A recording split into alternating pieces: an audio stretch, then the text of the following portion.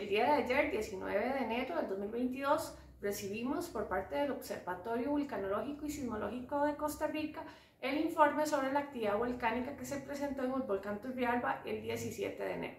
El informe destaca que la erupción de tipo freático tuvo un impacto de un flujo piroclástico en el cráter central. Ante esta situación, que no existen señales precursoras previas previo a este tipo de erupciones, se eleva el nivel de actividad del nivel 2 de un volcán activo al nivel 3 un volcán en erupción. Por tal motivo, informamos que el Parque Nacional se mantendrá cerrado ante este criterio técnico emitido, considerando que se podrían presentar nuevas erupciones de este tipo. Por nuestra parte, informaremos cuándo se realizará una nueva apertura del Parque Nacional hasta contar con información técnica que nos permita tomar las decisiones al respecto.